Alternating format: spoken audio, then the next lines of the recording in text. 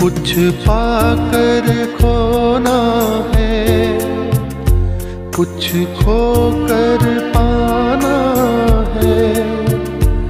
जीवन का मतलब तो आना और जाना है।